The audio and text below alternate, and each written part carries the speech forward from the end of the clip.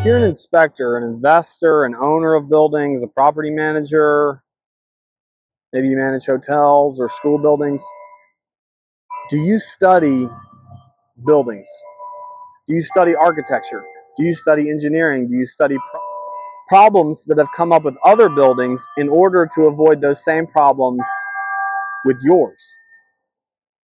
See, there are books out there, there are studies out there, white papers, journal articles, magazine articles, conversations, conferences, masterminds, think tanks, group calls, video calls, whatever it might be to help you learn these skills. Are you making yourself better as an inspector, as an investor, as an owner, as a manager of these buildings? Check us out at WBTC3.com. I'm Britt Treece. Thanks again for studying with us.